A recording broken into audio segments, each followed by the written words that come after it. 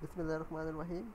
Welcome to my video. In in this video I will teach you how to use uh, two keyboards uh, to play uh, multiplayer game in uh, FIFA 13 14 and as well as 15 as you guys can see I have FIFA 15 so how uh, to play uh, with two keyboards. So first of all you have to go to this link. I will upload this link in my video description. So what you need to do is you need to click on here uh, and from this link you can uh, download the file. After that you have to extract that uh, as I have already downloaded it. So you need to open it and you need to uh, uh extract that to the game directory so I have already done that. Next step is you have to download VJoy. Alright. So from here you can download VJoy. As I have already uh, have let me show you the file. So here is the file no no this one is not vjoy where is vjoy? This one vjoy setup all right.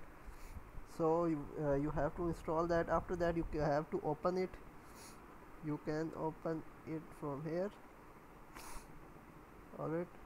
Now to play uh, uh, FIFA game you need to have these kind of buttons number uh, numpad 6 uh, 4 6 8 2 and from here button V V for um, uh, long hit and for pass B for attack alright and this one V uh, is for dodging I guess may, maybe alright. No this one is for uh, sliding tackle alright. And this backspace is for um, uh, no. This space bar. This space bar is uh, for change of your player.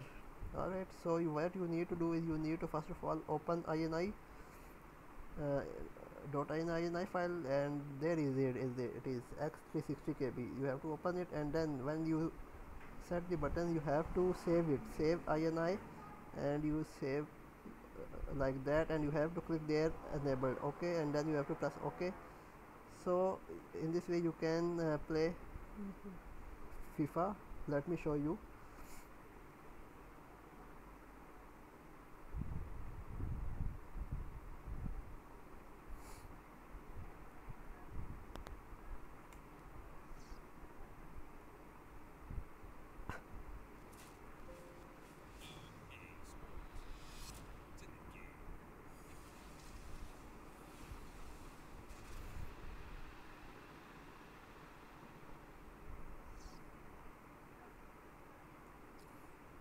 so uh, let me show you.